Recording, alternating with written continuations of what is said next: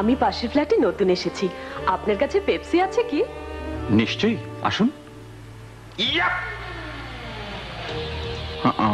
আচ্ছা অন্য কিছু চলবে? না ঠিক আছে।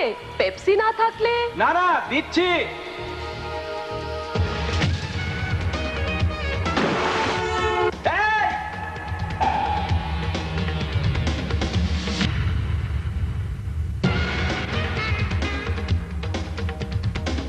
কোনো সমস্যা?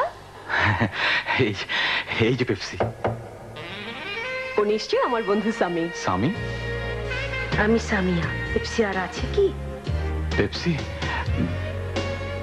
নিশ্চয়ই।